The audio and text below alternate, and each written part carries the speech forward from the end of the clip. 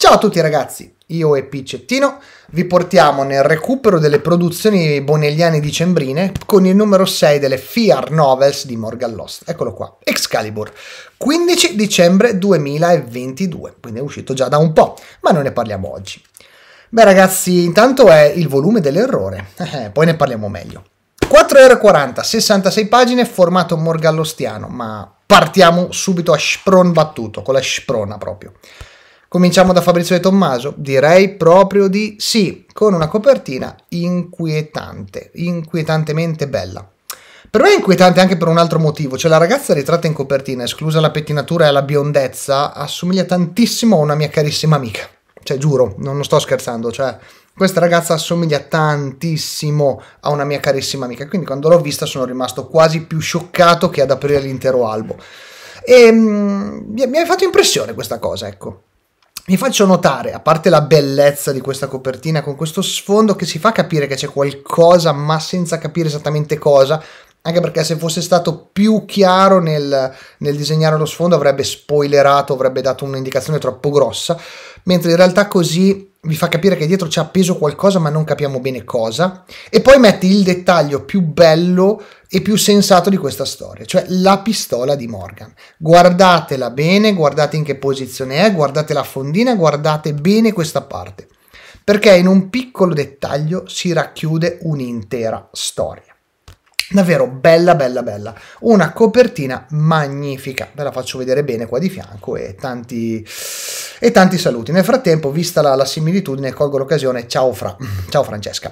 Eh, ragazzi, è uguale, è uguale alla mia amica, giuro. Ok, andiamo avanti. Andiamo avanti e troviamo l'editoriale. Un editoriale particolare che si divide in due parti, una commerciale e una ovviamente di, ehm, di spiegazione scuse. Scuse tra virgolette, ok?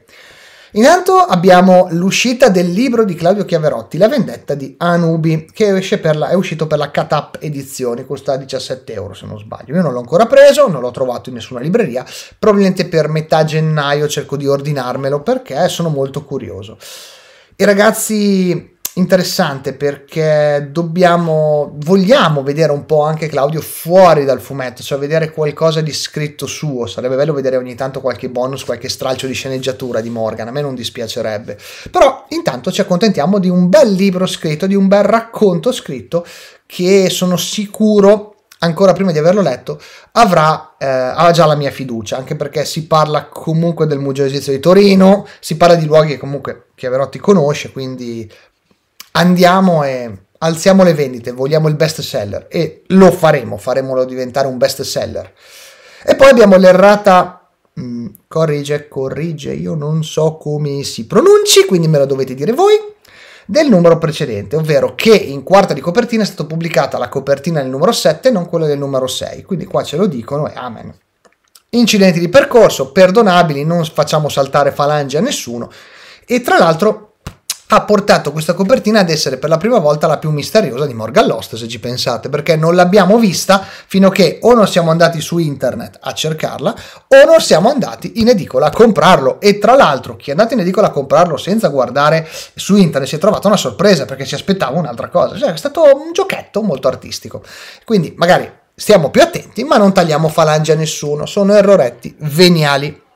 Entriamo nel vivo. Nel vivo adesso parliamo dei disegni di Francesco Francini. E cacchiarola, raga. Incredibile. Innanzitutto sugli scudi per i grain in versione barista che da sola vale il prezzo del biglietto. Apro, chiudo parentesi. Sì, ho un debole per i grain. E poi tanta roba. Ilke e Valerie, Valerie, non so, Val- Valerie, Valerie sarà la francese, Valerie. Ecco, le due protagoniste femminili sono incredibili, ma in generale è tutto bellissimo. C'è Morgan, Gioca tantissimo sull'emozionalità, sui sentimenti e sull'espressività. E qua ragazzi ce n'è tantissimo. Soprattutto le due protagoniste sono incredibili in certe deformazioni, in certi momenti, in, certa, in certe uscite. Cioè davvero c'è tanto da vedere. Cioè Francini fa un lavoro incredibile di emozionalità. Scende un pochino nello splatter quando serve, ma giusto quel goccino di sangue perché ovviamente ci sono certe scene che devono essere raccontate in quel modo. C'è un, un, filo erotico in alcuni punti, pur senza essere volgare, ma molto, ma molto ben centrato. Adesso penserò se mettervi o meno le tavole. E tanta roba, ragazzi, tanta, tanta roba. io posso dire che i disegni sono fantastici, c'è davvero tanto di cui guardare, di cui divertirsi, di cui immaginarsi e di cui anche innamorarsi per certi versi. E ragazzi, che vi posso dire? Posso dire che, che è bello, cioè io non so che altro dire. Bello, lo aprite, ci trovate esattamente quello che Morgan Lost vi deve dare, vi vuole dare. Emozionalità, bei disegni, una storia che vi scorre sotto gli occhi una sana dose di follia e ragazzi, Samurai vs Fairies è qualcosa che va al di là di ogni redenzione. Io sti film li voglio vedere. Claudio girali tutti dal primo all'ultimo e facciamo una serata cineteca a guardarli tutti. Li mettiamo online perché sono incredibili. Vorrei vedere le trame di questi film. Comunque davvero tanto, tanta, tanta meraviglia. Posso soltanto dire quello. Complimenti. A livello grafico, impatto magnifico di Morgan. Fantastico. Ma ovviamente abbiamo la storia. Excalibur è scritta col cuore, il fegato e tutti gli organi possibili e immaginabili del nostro Claudio Chiaverotti. E tanta roba, tanta tanta roba. Si stacca un po' dalla mega continui, potrebbe leggerla chiunque questa storia. La, uh, diciamo la, la parte del leone la fa la Mateba di Mateba si pronuncia giusto di Morgan, la sua pistola. Perché? Perché Morgan eh, oh ragazzi, prima o poi doveva capitare che questa pistola cadeva, no? E durante una situazione molto concitata, durante una, una lotta a un serial killer, la pistola di Morgan viene smarrita. Finisce nelle mani di qualcuno, di Ilsa. Ilsa è una ragazza bruttina, sì, possiamo definirla bruttina, pur nel suo fascino, perché poi la vedremo bene in alcune altre fasi, vedremo che ha anche un suo fascino, per quanto non sia la bellona che ti, ti colpisce di primo sguardo, comunque ha un suo fascino che ruba la pistola a Morgan perché è una sua fan. Essere fan in alcuni frangenti può giusto giusto essere sintomo di un lievissimo disturbo maniacale e ossessivo e da qui si svilupperà la storia. Storia che coinvolgerà anche Valerie, che è la nostra testimone oculare di questo furto di questa pistola. O forse no. Beh, lo scoprirete leggendo la storia.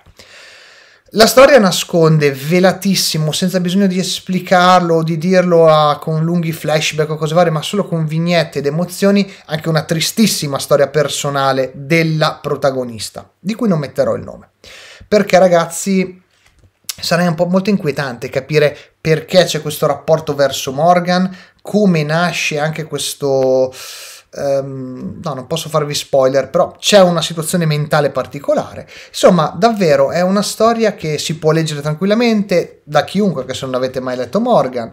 È interessante, è divertente, è forte nel suo non detto ma fatto capire e soprattutto ha un finale che ragazzi è, è inquietantissimo perché c'è il controfinale chiaverottiano che vi lancia quel, um, che vi lancia quel quid in più che vi lancia quel, quel retrogusto ancora più estremo anche se estremo nella maniera positiva cioè positiva, nella maniera non volgare del termine, ecco, non abusata del termine. Posso dire che è una bella storia, che mi ha divertito, che abbiamo rivisto Morgan muoversi, far girare le rotelline, entrare in un mondo, tra virgolette, più normale per lui, dove non è coinvolto totalmente in prima persona. Certo, la pistola è sua, ci ha affezionato e tutto, però non ci sono risvolti eh, personali o il Wallender di turno o l'arcinemico di turno, cioè è una, è una sua caccia per un motivo personale che è la pistola, però una sua caccia senza quel tipo di risvolti. Lo vediamo indagare ed è molto interessante, davvero molto molto interessante. Posso dirvi wow, davvero wow, complimentoni. Grande Morgan, bella storia. Si conclude il 2022 in un ottimo modo e poi attendiamo il 2023 con uh, dal sino, dalla sinossi una rivoluzione estrema a casa Morgan, vista così almeno, no? Perciò vediamo, vediamo dove si va a parare e vediamo il nostro Morgan eh, all'opera con un'indagine, una caccia all'oggetto fondamentalmente che si tramuterà poi in una caccia a un serial killer da parte del nostro cacciatore di serial killer preferito. Quindi ragazzi, Morgan Lost in edicola, mi raccomando, andate tutti a caccia, ok? Ciao ragazzi, alla prossima e non so se ne farò altri da qui a fine anno, quindi inizio, poi magari lo farò un altro giro, non lo so ancora, comunque buon, 2020, buon 2023 in arrivo. Nel caso ve lo dirò in altri video, se ne farò altri prima della fine dell'anno, non lo posso sapere. Baci e abbracci e ci sentiamo prestissimo. Intanto non state soli al buio perché Morgan vi aspetta. Ciao!